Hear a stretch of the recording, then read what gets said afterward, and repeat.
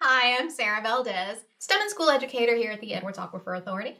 And I'm Tara Gibbs. I do educational outreach for the Edwards Aquifer Authority. Hi, I'm John Ramirez, and I do the education uh, outreaches for the Edwards Aquifer Authority. All right, and today we're going to try and do some simple activities just to demonstrate how water gets out of the aquifer. Um, we've talked a lot about how water gets into the aquifer, but in case you can't remember, let's do a quick refresher with the map here. You see here in the hill country, we have the drainage area. This is where the rain falls. Then it drains down to what we call the recharge zone. This is where the water flows back into the aquifer, just like you would recharge your phone at home. Then it goes down and it comes back up through water pressure in artesian wells and springs. Um, it's like uh, if you have a seesaw or a teeter totter or a scale. If you push down, down on one side, we're applying force. So I'm pushing down, down, down on one side, the other side's going up, up. up. That's right. And that is pressure. Pressure. Pressure. you can also show it with a water balloon. If the artesian zone was a water balloon and your drainage area and your recharge zone is a hose and you're filling it up, filling it up, filling it up, what would that balloon do? Pop. But our aquifer is not going to pop, right? Right, that's made out of limestone rock. But that limestone rock is full of holes. Tiny microscopic little pores, big, big holes like the size of this room that we call a cave. All right, so here we have a water balloon that's going to represent the Edwards aquifer. We're going to apply a fracture above the Edwards aquifer. We're going to poke a hole right in okay. you may also want to try this outdoors. All right, so we're going to get a bigger container. So once again, the balloon representing the Edwards aquifer, the artesian zone.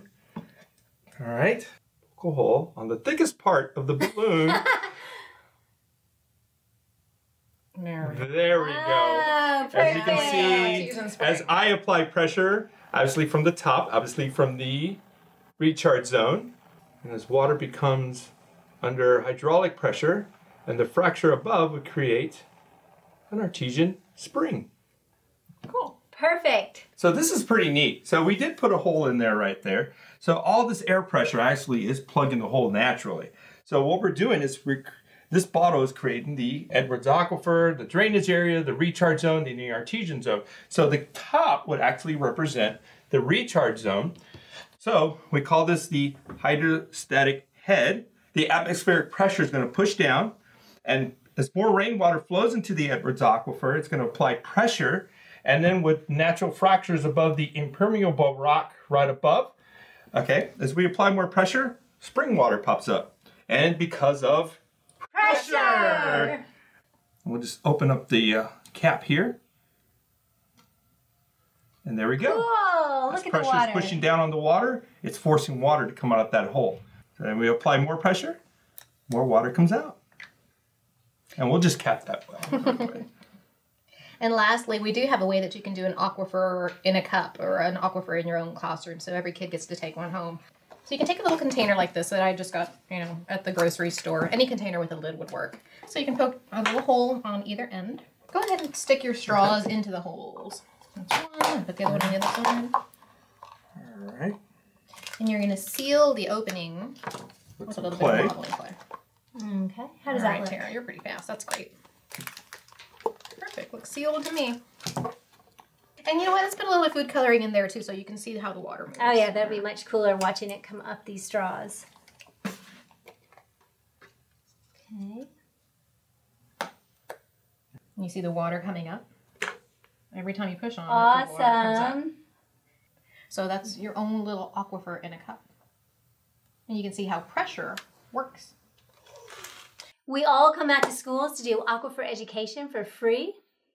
And we love to come visit your school. We'll talk about the Edwards aquifer and the species that depend on the Edwards aquifer. So uh, call us out. Uh, we'd love to come visit. All right, if you have any questions on how pressure moves water through the Edwards Aquifer, how water comes out of the Edwards Aquifer through springs and wells, you can always send us an email. We've got a bunch of activities too on Pinterest, short, easy things that you can do.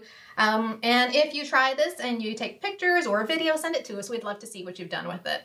Thanks for watching, and we'll see you next time on our next um, Aquifer Adventures. Thanks. Yes, thank you.